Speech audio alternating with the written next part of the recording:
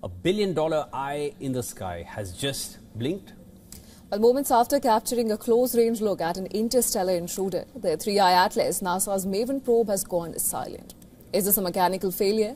Or is it something to do with the deep space visitor, which is suspected to be operated by alien tech? Take a look at this next report to find out.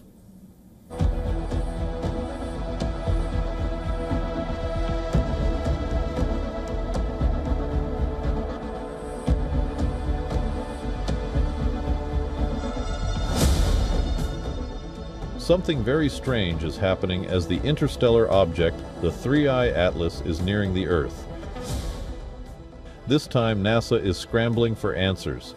NASA's MAVEN spacecraft, orbiting Mars for more than a decade, had just done something extraordinary. It captured these images of 3i Atlas, the mysterious object slicing through our solar system at blistering speed. Then, without warning, MAVEN stopped talking.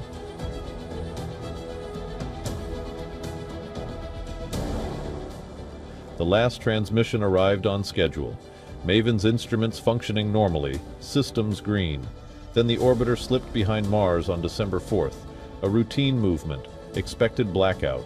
37 minutes of radio darkness as the red planet blocked Earth's view. When the spacecraft emerged from Mars's shadow and nothing came back. No signal, just silence across tens of millions of kilometers.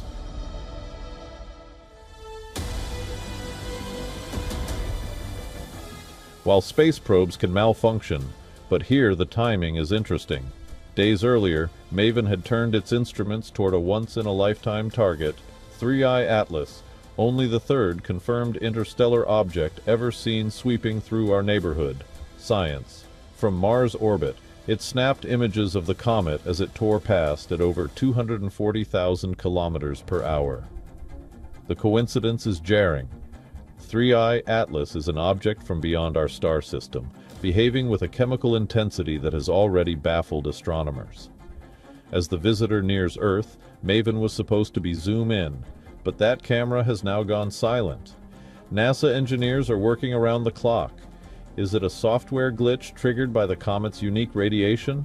Or did the interstellar visitor contain particles that affected MAVEN's sensitive sensors? Speculation is reaching fever pitch within the scientific community. 3i Atlas continues its journey towards its closest approach to Earth on December 19th. Spacecrafts and telescopes from Hawaii to India are tacking its approach.